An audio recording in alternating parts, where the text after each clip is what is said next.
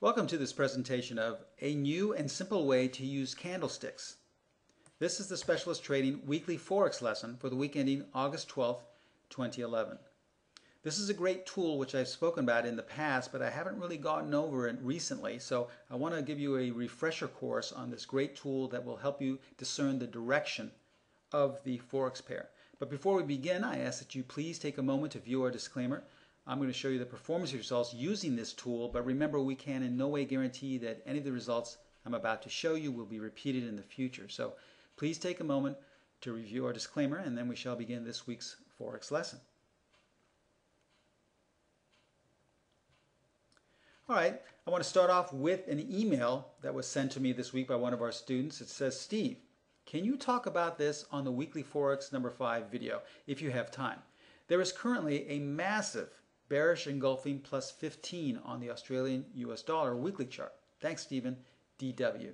Now, I know a lot of you may not know what this means, a bearish engulfing plus 15. I've never heard of that before. That's why I thought it'd be best to give a refresher course on this specific tool. This is a specific tool or pattern that we use that is not a strategy, but it's a momentum or directional tool for the short-term uh, direction of a, a currency pair. Now, let's start off by backing up by just kind of uh, reviewing for those of you who aren't really familiar with engulfing patterns. This is a very prominent pattern that we use in a lot of our strategies, Forex strategies. And remember, we have a specific way of using it. This is a bullish engulfing pattern. It's a two-bar pattern. The second bar, as you see here, is called the open body. We're concerned with the open body, meaning from open to close, totally covering or engulfing the dark body, the previous bars, body only, not the range. See, a lot of people are confused with this. They think that we have to in totally engulf the entire range from top to bottom. We are only concerned with engulfing the body or from open to close. That, in our definition, is a bullish or bearish engulfing pattern. If we happen to see this pattern, we know that there is a strong correlation that in the next three to five bars, whichever bar or time frame we're looking at, we will have upside momentum or direction. So that's a real strong edge. Now the same works the opposite side for a bearish engulfing pattern. Same exact rules except we turn it upside down. We have the dark body here from the open to the close, but once again we're only concerned with the body. We're not concerned with the range from top to bottom. We're only concerned with the body which is actually the open to close movement. We want that body to engulf the body of the previous day, which should be an up day, all right? Not uh, engulfing the entire range from top to bottom, but only engulfing the up body.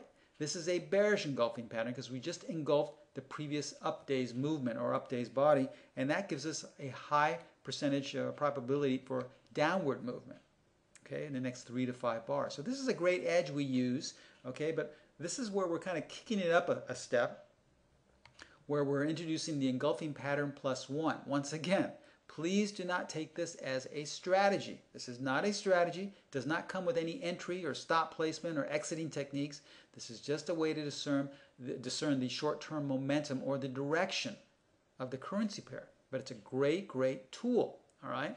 This is engulfing pattern plus one. And it can go on all the way, as you saw in the email, up to plus 15, I imagine. All right, so how do we find or, or spot this particular engulfing pattern? Well, here's your standard engulfing pattern. As you can see, we have the open body or the bullish body totally engulfing the dark body, okay? Now what we want to do is engulf one more body, as you see right here. Now it does not matter, as you see in this uh, example, this was an up day because it's a, clear or an open body, but it doesn't matter.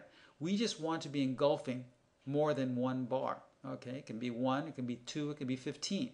In this case, it's an engulfing pattern plus 1. You see we engulfed the previous bar plus 1. And here's where you can see where our body is. This is the uh, top or the close. And here's the open or the bottom of the range of the body. And we engulfed two bodies within that. So what happens when you see this specific pattern? Now we've kicked it up to another level, like going into fifth gear that's an even higher probability that we're going to have upside movement. In fact, it's probably most likely going to be a stronger trend than just your basic bullish or bearish engulfing pattern. All right, same thing works for the downside. This is your standard bearish engulfing. the dark body or the downward body totally engulfed the previous day's upward. This is your standard bearish engulfing pattern. Now we want to have plus one. So now we've not only engulfed the previous bar, we've engulfed one more. And also, as I stated earlier, it does not matter whether this bar is an up day or a down day. All that matters is that we are engulfing another body, another range. There's a high probability now, once again, a much higher probability that we will be going to the downside once you see this bearish engulfing pattern plus 1 or up to plus 15, I guess. Let's show you some past examples. Remember, these are past examples. These are not current. Later on in the presentation, I'll show you some current examples of what's currently going on using this pattern. All right, here's a chart of the Australian dollar, a daily chart, looking back uh, roughly uh, over a year ago or so. And as we see here, looking back in hindsight, we have a bullish engulfing pattern plus 1. Why plus 1? Because we engulfed the previous day's lower range, and then we have one more body that we engulfed. And then look what happened. 900 points to the upside. Now, this was just telling us that there was probably a very strong direction going on here. And all the time that we were headed upwards, we continue to get more and more confirmation by seeing more bullish engulfing patterns plus one. And seeing another one here. How about a weekly chart of the uh, dollar yen? Okay, coming into this chart, we see here that we actually have a bullish engulfing pattern plus three. Why? Because we engulfed the previous day's downward day, and we have one, two, three more engulfing uh, uh, bodies that we uh, totally, uh, uh, you know, engulfed or surrounded here. So this is a clear sign that on a weekly chart, it looks like there may be a nice directional change to the upside. And in the coming weeks, in the next three months, we uh, traversed up 800 pips in the dollar yen. Here's a monthly chart of the Australian dollar looking back to 0708 time frame. And as you can see, all along, all the time we're going up, we have this nice confirmation of bullish engulfing patterns plus one that we're going even higher. So this was telling you, you know, once again, this is not a strategy, but it's telling you if you're long that don't worry, we're confirming that most likely the trend is going to continue. There's, you had three nice up, uh, up uh, bullish engulfing pattern plus one here until we got to this point. And as you can see, we had a bearish engulfing pattern plus one because we engulfed the previous day's upward or the previous month's upward movement and another bar. Now, it doesn't matter if the body on this range here is up or down. Once again, all that matters is that we engulf more than one. And as you can see, it was downward direction after that. So this is a great tool, kind of a signpost, giving you a little heads up or a little warning that we may have a trend a direction change or we may continue the direction. All right, so let's look at some current examples now. So let's look at what's going on currently at our top currency pairs. Here's the Australian dollar, a daily chart going up to about the end of July or the beginning of August. And as you can see here, we had some nice bullish engulfing pattern plus one instances. And for most intents and purposes, uh, the, the Australian dollar had been headed up in this direction. As you can see here, it was confirming again, even though we were going sideways, that most likely the trend will continue higher. Now, on the Canadian dollar, we have an interesting pattern here coming in. This is a, a current chart. Coming into the uh, month of August, we had a nice bullish engulfing pattern, plus one. Remember, it does not matter what color the plus one is, but we engulfed a, a, one more bar here, and then it was upward movement. Now this is what's happened this week, which is uh, going to be a little tough to discern here because right here on this day we had a bearish engulfing pattern plus one. So this was giving us warning that the Canadian dollar may be headed lower to start looking for shorting signs. But then the very next day we had a bullish engulfing plus one. So this may be telling us now that we're going higher. Be that as it may, this is not a signal, so we're not trying to trade anything. We're just trying to get an early heads up or a warning as to which direction we may be headed. Remember, our goal is to learn how to listen to the markets.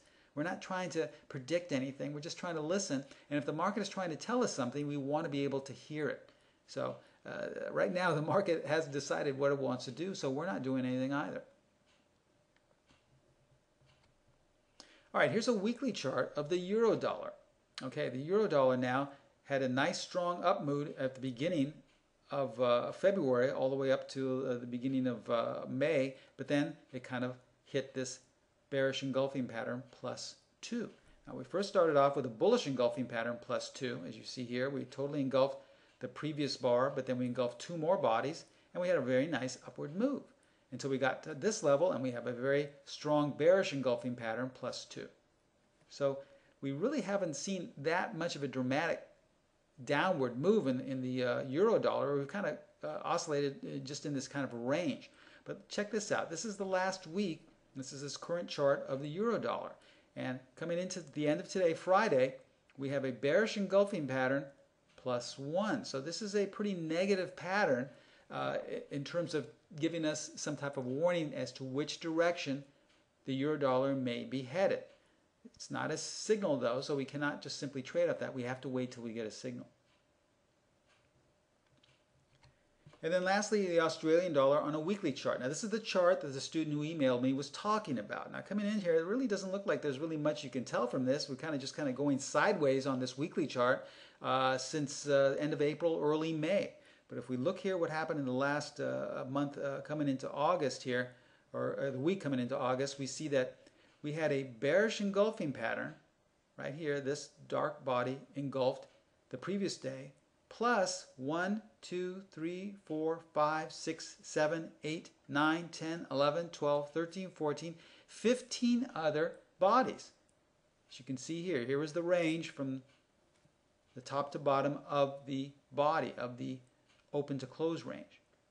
And so on a weekly basis, a little bit more long term, but on a weekly basis, that would be uh, perceived as being negative. So coming into August now, as you see the first week of August, look what happened. We had a rather strong move to the downside here, but it seems to come back and, and uh, you know retrace a lot of the losses. So even though intraday on the weekly chart we had a large down move in the Australian dollar, uh, this still may be intact, telling us that there's more downside to come. We just don't know yet. Uh, be that as it may, it was a nice warning when we saw that bearish engulfing pattern plus 15 on a weekly time frame. Now, here are some things to remember, and I cannot stress this enough because even though this is such a great tool, it is not a strategy. It is just a tool. You know, you, will see this, and I know your eyes will light up and go, boy, this is fantastic. If I see a bullish engulfing pattern plus one or more, or a bearish engulfing pattern plus one or more, I'm going to go long or short. No, it doesn't work that way because there uh, no, you know, any type of uh, research or looking to see if this is a uh, strategy or with any money management or exit strategy uh, applied to it that can work. It's just a great tool to get you in the right direction. It, it's, the pattern is, is best used as a momentum tool. We want to see what, uh, what the momentum is or the direction of the currency pair that we're watching. But probably, you know, as we can say here, the engulfing pattern plus are very prevalent. So you see them a lot. The one thing I want to stress is only use them on the time frame you're looking at. So in other words, if you see a bullish engulfing pattern plus one on the euro dollar on the daily chart, but on the same monthly chart of the euro dollar, you see a bearish engulfing pattern, take each chart for uh, you know what what it stands for. In other words, if you're trading the daily chart, that's all you'll take the the uh, you'll all you'll use the tool for. Don't don't you know try and, and take a higher time frame and then judge the lower time frame by that. This is just a tool used in that specific time frame which you're using. So you can see a very nice rally in the euro dollar with a bullish engulfing pattern plus one, and on the weekly or monthly chart have a really negative uh, bearish engulfing pattern plus 15. And they'll both be right eventually. So uh, they're not meant to be used in concert with each other. Just take each chart for what it is. Okay. Now you can apply this to any time frame and in any direction, but remember, just focus on the chart at hand. All right, so let's review here. Remember, this is a great tool, but in order to use this tool, you have to remember it is not a strategy. It is just a tool. Once you have a great, uh, you know, uh, uh, idea and, and learn the process behind this tool and how it works, then you'll apply a strategy to it, either to go long or short. But please remember, in order to, to you know, have this consistency with our methods, you have to learn these strategies. It's not just enough to watch the videos a couple of times and think, okay, I've got it under my belt. I know how to do it now. You have to really understand the strategies like the back of your hand. So the only way to do this is by paper trading. Once you pick a strategy, we have upwards of 10 strategies that you can trade the Forex markets. Once you pick one that you like, then paper trade it for a while. Paper trade it for a week, a month. It does not matter. Just as long as you really feel comfortable and totally understand the workings behind the strategy. Our edge here is consistency, and you won't reach that level unless you really understand the strategy and how to implement it. Okay? So if you have any questions, please do not hesitate to email me at stephenprimo at specialisttrading.com. In closing, I ask that you take one last look at our disclaimer. I showed you how to find and how to use this particular tool, uh, but remember it is uh, in no way guaranteed that this will uh, be uh, guaranteed to work in the future, that any of the performance results I showed you will be repeated in the future. So please, uh, you know, remember that while you're uh, using this tool and understanding it, and please if you have any questions concerning what I went over today or anything on the website, do not hesitate to email me at stephenprimo at specialisttrading.com.